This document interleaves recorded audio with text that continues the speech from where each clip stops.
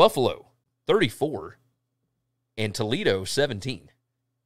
And y'all, Toledo led this game 27 to 10 going into the fourth quarter. How does Jason Candle continue to do this? Uh, you you look at this fourth quarter for for Buffalo, they had an eight play, 64 yard drive for a touchdown, six play, 80 yard drive for a touchdown, uh, four play, 43 yard drive for a touchdown. They fumbled the ball, and Toledo could do nothing with it. And then they kicked a field goal at the end. Like seven plays, 15 yards. Look at the time of possession on these drives eight plays, 64 yards and 217, six plays, 80 yards and 210, four plays, 43 yards in a minute 21. I said this on the BetUS show this week. Like somebody asked us about this ball game, about what do we think about Toledo, and Toledo on paper looks like the best team in the MAC, and they had played like it for the majority of the season. But this happens every freaking year with Jason Candle. I just don't understand how it continues to happen like this. Um, eh, third downs, I mean, both teams five out of 17, five out of 16. Uh, Toledo on fourth down was three out of five. Uh, they outgained Buffalo.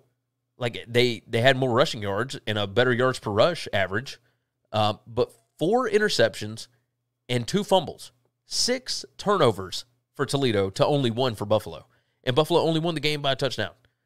Like it, it this at some point you've got to start questioning what is happening here. Toledo, what is going on? Uh, just and, and of course, Dequan Finn, the quarterback for Toledo, got hurt at the end of the game. Who knows what's going to happen there? But this team, like, I, I don't, I don't even know what to say about Toledo at this point. I mean, this team is, they should be so much better they should they, that should have never happened. And yes, the game was at Buffalo, but it, you're up 27 to 10 in the fourth quarter. How do you lose by seven in regulation? Just mind blowing. It's not like we had App State, North Carolina going on here. Just uh, unbelievable, unbelievable. So, cheers to Buffalo. Uh, I know that the story should be about the team that won, and Buffalo certainly took advantage. Uh, Maurice Linguist, by the way, or by the yeah, by the way, I may have been wrong about him.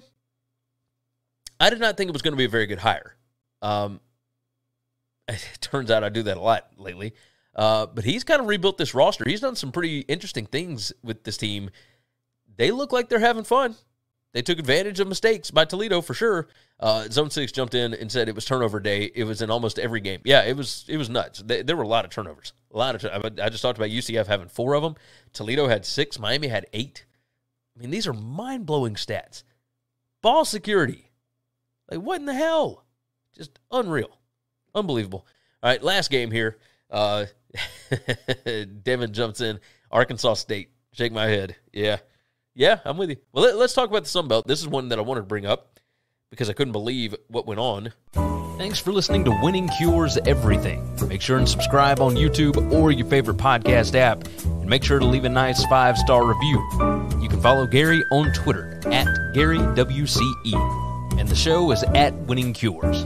Be sure to check out the merch in our web store and share the show.